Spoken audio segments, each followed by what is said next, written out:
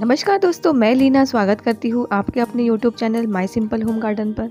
आज मैं आपसे शेयर करने वाली हूँ। आज जैसे कि आप देख रहे हो, ये सारे जो हैंगिंग बास्केट मैंने बनाई, ये समर के हैं, गर्मियों के। और कुछ इसमें फ्लावरिंग वाले हैं और कुछ इसमें फोलिएज वाले हैं। तो इन्हें जो है मैं आज लगाने जा रही थी।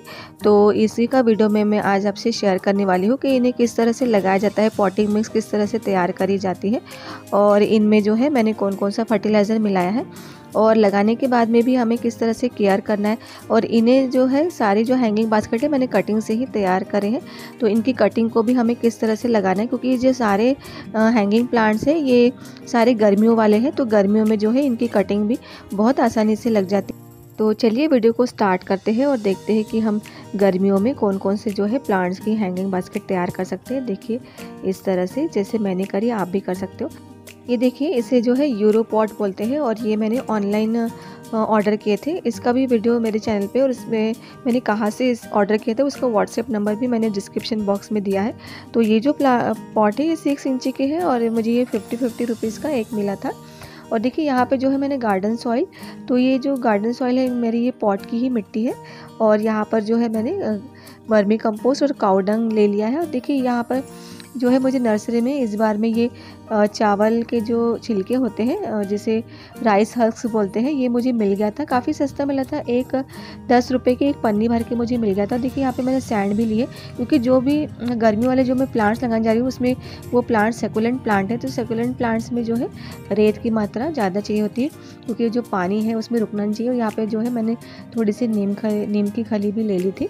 और यहाँ पर जो है, आप थोड़ा सा फंजीसाइड पाउडर भी आप मिला सकते हो। और मैंने यहाँ पर जो है डीएपी के दाने डाल दिए हैं।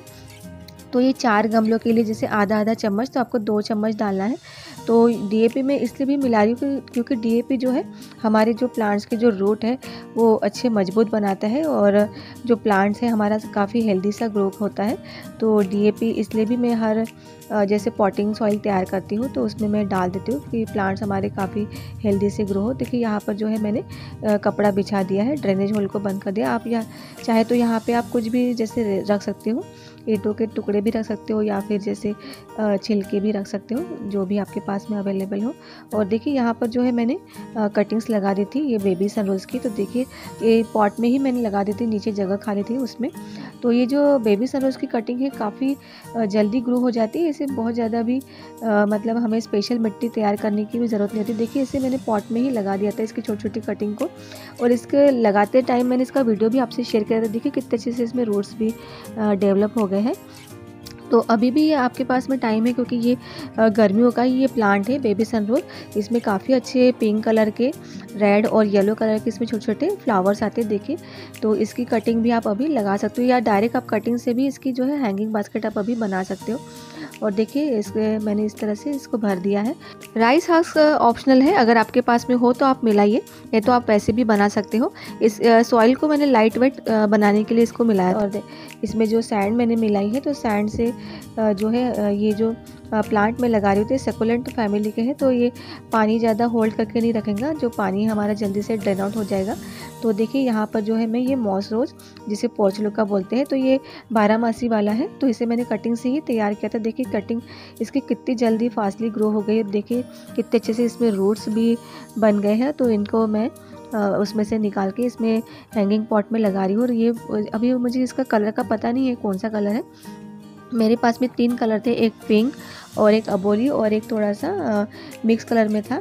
तो इसे भी मैंने लगा दिया हैंगिंग पॉट में। ये हैंगिंग बास्केट में बहुत ही सुंदर लगते हैं ये moss rose next hanging basket में बनाने जा रही हूँ। देखिए, ये है पर्सलिन तो पर्सलिन की भी मैंने छोटी छोटी कटिंग्स लगाई थी और आपसे मैंने वो वीडियो भी शेयर किया था। और देखिए, मेरी जो कटिंग्स है कितनी अच्छे से ग्रो हो गई है, काफ़ी बड़ी हो गई। तो इनकी कटिंग्स को जो है मैं इसमें हैंगिंग बास्केट में लगा दे रही हूँ। तो ये भी कलर मुझे अभी नहीं पता कौन सा है। जो मेरे पास में चार कलर है, एक येलो पिंक ऑरेंज और एक मिक्स कलर का। और देखिए, यहाँ पर जो है मैंने एंजॉय पोथेस की भी काफ़ी सारी कटिंग्स को मैंने ग्रो कर लिया था। तो एन्जॉय पोथर्स की भी मैं हैंगिंग बास्केट बनाई थी और ये भी जो अब हैंगिंग बास्केट है, ये प्लांट्स ये गर्मियों में काफ़ी अच्छे से ग्रो होते हैं। तो आप भी जैसे जितने भी पोथोज हैं, उनके अगर आप हैंगिंग बास्केट अभी बनाना चाहते हो तो आप बना सकते हो। ये गर्मियों में काफ़ी अच्छे से ये प्लांट्स चलते हैं और इनकी कटिंग भी बहुत आसानी से लग जाती है। बस इन्हें जो है आपको शेड में रखना होता है, ज़्यादा धूप में नहीं। ये देखिए, इस तरह से इनमें कितने अच्छे से देख सकते हो आप रूट्स डेवलप हो गए। तो इनको देखिए, मैं इस तरह से इसमें लगाते जा रही हूँ। या फिर आप चाहे तो डायरेक्ट सिंगल सिंगल लीफ भी आप लगा के इनके जो है आप हैंगिंग बास्केट बना सकते हो। अगर आपने कटिंग ग्रो भी नहीं की डायरेक्ट आप कटिंग भी इसमें लगा के हैंगिंग बास्केट में आप इनकी हैंगिंग बास्केट जो है इस तरह से तैयार कर सकते हो। तो मेरे पास में जो है मैंने इनकी सारे कटिंग्स जो तैयार कर ली थी। अगर आपके पास में कटिंग्स रेडी नहीं भी हो तो आप इनकी डायरेक्ट जो है कटिंग्स को आप डायरेक्ट ऐसे पॉट पे लगा के भी आप इन्हें ग्रो कर सकते हो। बस इन्हें जो है आपको सात आठ दिन जो है शेड में रखना होगा। और जैसे ही इनकी कटिंग्स थोड़ी सी ग्रो होने लगेगी तो आपको इसमें पार्शियल शेड में आपको रखना है। और अच्छे से जो है इन्हें हम पानी दे देंगे। पानी देने के बाद में और जो भी ये मैंने रिपोर्टिंग करी है तो मैंने ये शाम के टाइम पे करी है। और गर्मियों में जब भी आप कुछ भी जैसे रिपोर्टिंग का काम करते हो, आप शाम के टाइम पे करिए, क्योंकि मतलब रात भर में जो है अच्छी इनको ठंडक मिल जाती है और सुबह की भी ठंडक। अगर हम सुबह के टाइम पे अगर इनको लगाते हैं तो सुबह फिर जो है धूप काफ़ी बढ़ती जाती है। पूरा ये धूप में रहते हैं तो ये शौक में चले जाते हैं और काफ़ी ये मुरझाए से लगते हैं। तो कभी भी हम गर्मियों में जो है, हम शाम के टाइम में रिपोर्टिंग का काम करेंगे तो काफ़ी अच्छा जो है हमें रिज़ल्ट रिज़ल्ट जो है देखने को मिलता है और इन्हें जो है हम अच्छे से लग जाने के बाद में हर पंद्रह दिन में डीएपी का फर्टी जो लिक्विड फर्टिलाइज़र है वो हम देते जाएँगे तो काफ़ी अच्छे से जो है हमारे ये प्लांट ग्रो करेंगे। और जब इसमें फ्लावरिंग स्टार्ट हो जाएँगे तो काफ़ी सुंदर जो है ये हैंगिंग बास्केट लगेंगे और सारे जो ये हैंगिंग बास्केट है, ये गर्मियों वाले हैं तो आप भी ज़रूर इन्हें लगाइए इन गर्मियों में। तो मेरा ये आज का वीडियो फ्रेंड्स आपको कैसा लगा तो मुझे कमेंट्स करके ज़रूर बताइए और मेरे चैनल को लाइक शेयर सब्सक्राइब करना ना भूलें। मिलती हूँ फ्रेंड्स नेक्स्ट वीडियो में और मेरा ये वीडियो देखने के लिए आपका बहुत बहुत बहुत धन्यवाद। Bye friend take care